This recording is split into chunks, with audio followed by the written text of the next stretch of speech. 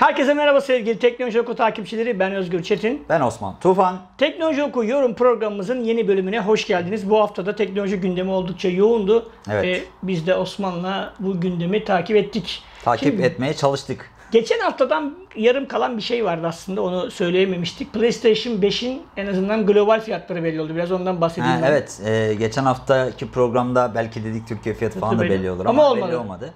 Global fiyatı da şeyle aynı geldi zaten. Series 500 dolara. X ile aynı geldi. Ama yani. şey daha pahalı. 399 dolar açıklandı. Dijital versiyonu. Dijital versiyon 399 lira. Ona bakarsak Series Series S de 299 299. dolar. İşte Ama bir- günün sonunda baktığımızda Series X ile e, PlayStation 5, 5 aynı hani fiyat. diskli versiyonu Aynı fiyat. aynı fiyat. Yani birbirlerini kolladılar. Belki de konuşmuşlardır zaten. Ya şu fiyattan verelim. İkimiz de Peki- üzmeyelim birbirimizi falan diye. Türkiye fiyatına ne diyorsun Osman? Türkiye fiyatı daha belli değil ama bence 7990. Ya 7000 ile 8000 arasında bir yerde olacak kesin diyebilirim. Ha, dijital sürüm bir tık daha aşağıda olabilir ki bence dijital sürümün sürümün de aşağıda olması zaten fark yaratır. Yani şimdi adam der ki atıyorum ya hani e, Xbox Series X'e 7499 lira verene kadar işte sallıyorum 6500 liraya gideyim dijital versiyonunu PlayStation 5 alayım diyebilir. Göreceğiz. Bu arada bizim bir arkadaş Amazon DE'den sipariş verdi aynı gün o cihaz duyurulur duyurulmaz gecesine sipariş verdi. Ee, Türkiye'ye gönderim de vardı. Gümrük vergileri dahil oluyor zaten biliyorsunuz onlarda. 4000 Türk lirasına falan geldi arkadaşlar. Onu da sizlerle paylaşmış olayım. Geldi mi? Gelecek yani. Gelecek yani Gelmedi siparişini verdi. Ama yani 4000 lira çekildi kartından. Hani şeyler de dahil. Tüm Vergi vergiler dahil. falan filan da dahil. Gümrük vergisi falan. 4000 liraya almış olacağız. Evet şimdilik oraya el atmadı. El atırlarsa orada vergi gelir ekstra onu söylemiş olalım. Ama zaten orası vergileri ödüyor. Ödüyor? Hani gümrük vergisi dahil diyor. Normalde fiyat o kadar değil mesela. Hani Dijital euro- versiyon değil ama normal Dijital versiyon. Dijital versiyon. Evet, yani. dijital 4000 versiyon. Yine de uygun ama. Yine Yani Türkiye'de dijital versiyonda yine en iyi. 5000 lira falan. 6005 beş- 5000 olmaz ya abi sen. Sen Beş- çok çok iyimsersin. Ama ben Series S'e göre söylüyorum. yok ama seri seste donanım farkı var. Şeyleri PlayStation yok, 5'te sadece disk yok disk yani. yok. Başka bir şey Anladım. yok. Aynen. Şimdi bu haftanın gündeminde aslında şöyle bir konu var. EBA çöktü, biliyorsunuz. günlerde. Ee, öğrencilerin, hepimizin çocuklarının, kardeşlerinin, ablalarının eğitim gördüğü EBA çöktü. Bayağı büyük olay oldu aslında Ya ben açıkçası onun o kadar büyük bir olay olmasına anlam veremedim.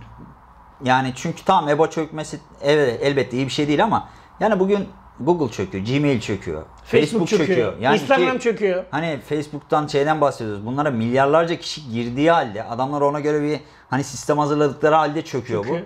bu. Yani EBA'nın da bir aksaması normal.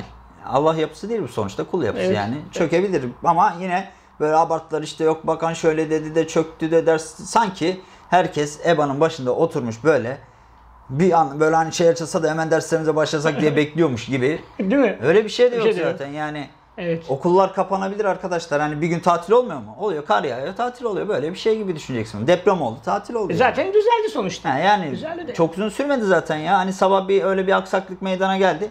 Öğleden sonra yine canlı dersler devam etti. O muhtemelen de yoğunluktan dolayı olan bir E Tabii oluyor yoğunlukta ya. Her sitede oluyor. Yani bugün hani Bizim Türkiye'de, sitede bile oluyor yani bazen. Türkiye'de Biz mesela çok büyük siteler var. Hani Alexa'da, ikonda yer alan. Onlarda bile zaman zaman işte giriyorsun mesela bir flash olay olduğunda yoğunluktan Çöküyor. ötürü hizmet veremiyoruz vesaire gibi yazılar geliyor.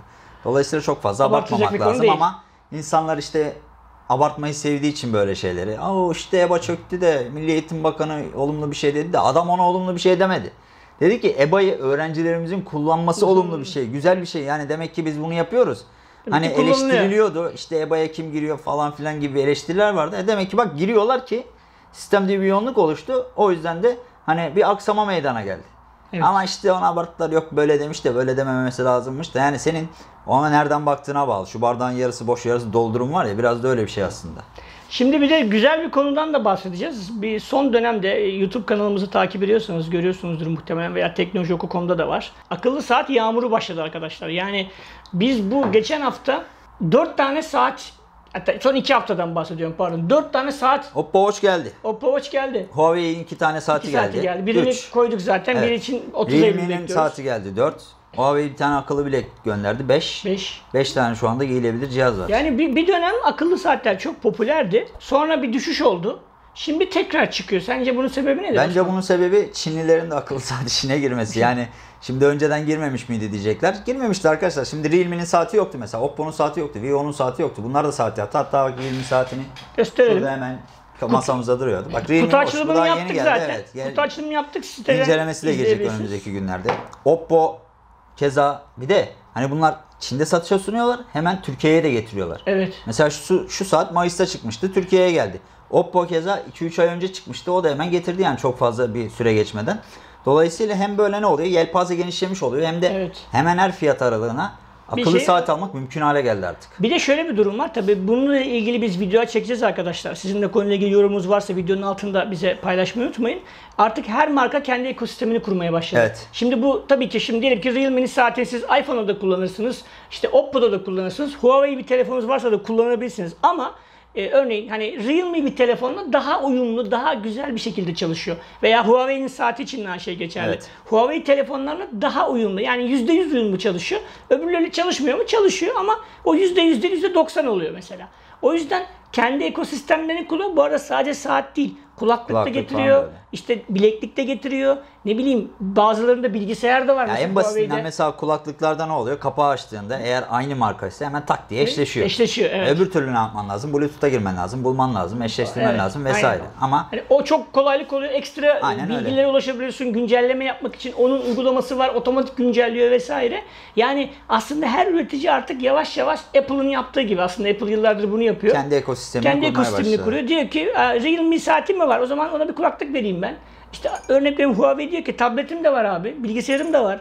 Kulaklığım da var. Saatim de var. Ne istiyorsan var diyor. Bir de bunların uygun fiyatlı olması güzel. Evet. Mesela şimdi bu Realme'nin saati arkadaşlar şu anda 600 liraya geldi Türkiye'ye. Evet. Geçtiğimiz günlerde bir kulaklığı gelmişti yine o da uygun fiyatlıydı. Sen açmıştın kutusunu 400 abi. lira. 400 lira mesela. 399 lira Yani hatta. iki tanesini 1000 liraya alıyorsunuz. Hem saat hem kulaklık. E bir de Realme telefon aldım yanına. Atıyorum bir 6'yı falan alsan 2.5 onu alsan 3500 liraya sadece Bir ekosisteme sahip olursun. ekosisteme sahip olmuş oluyorsun. Apple'da bir saate o parayı satıyor Apple mesela. Apple'da seri 6'yı alsan mesela 3700 lira. yani biraz da üstüne koyman lazım. evet yetmiyor yani. Yani e, fiyatların uygun olması bence güzel. Sadece hani Realme için demiyorum. İşte biraz daha üste çıkarsanız atıyorum Huawei'nin Watch Fit vardı. o Kutu da açılımını 900 lira yaptık. mı ne vardı? 9, 9 lira tam 9. O da güzel bir fiyat mesela. Biraz daha üste çıkarın diyorsanız 1200 liraya yine Huawei'nin güzel saatleri var. Ben biraz daha üst bir şeyler istiyorum diyorsanız işte Oppo'nun 2200 liraya yeni saati var. Huawei'nin de Yani- var 2200 lira yeni Evet çıkan yani. Huawei'nin var. Ya zaten üst fiyatlara çıktığın zaman Apple'ın da var. Series 3 var mesela 1600 liralara. 2600 liraya yeni satışa sunduğu SE var. Daha da üst bir şeyler istiyorum diyorsan Samsung'un saatleri var. Apple Watch Var da S6 var yani, Var yani. çok. yani hani yine en pahalı Apple'ın işte 3700 liraya kadar Çıta gidiyor. orada yani o da. Daha yukarı Herhalde en çıkmıyor. ucuz da hani bildiğimiz böyle telefon üreten markalardan Realme Watch. Şu anda ben 600 liranın altına. Yok ben de görmedim. Hani böyle Mailu bileklik falan var gibi ya markalarım Hailu- var ama bilinen şeyler Yani değil. Hailu yani sadece kulaklık üretiyor herhalde. Yani kulaklık derken hani e, Veya o tarz şeyler. Sadece tarz saat, şeyler. kulaklık tarzı şeyler üretiyor. Ekosistem üretmiyor. Ekosistemi yok. Bir de hani garanti tarafında, servis tarafında ne Kiminle derece güvenilir. olacaksın? Tabii, yani o- o çok bilinir olmadığı için. O yüzden o tarz markaları çok fazla şey yapmıyorum ben. Ee, hani öyle haylu maylı alacağım ama giderim atıyorum hani işte mesela JBL'in de var kulaklıkları uygun fiyatı. Onlara bakarım en azından hani bildiğim marka derim ki ya JBL'in servisi de var şeyi Evet. de var. Yani o tarz bir dönüşüme de girebilirim. Ama işte akıllı saat olduğunda söz konusu biraz daha böyle hani telefon da üreten saatleri almak daha iyi. Çünkü niye ekosistem tarzı bir şeyler yapmış oluyorsun en azından. Evet arkadaşlar Teknoloji Oku Yorum programının bir bölümünün daha sonuna geldik. Önümüzdeki hafta yepyeni bir bölümde karşınızda olmak üzere. Hoşçakalın demeden önce YouTube kanalımıza Evet. abone olmayı ve bizleri Instagram, Twitter ve Facebook gibi sosyal ağları takip etmeyi unutmayın. Farklı bir programda görüşmek üzere. Hoşçakalın. Hoşçakalın.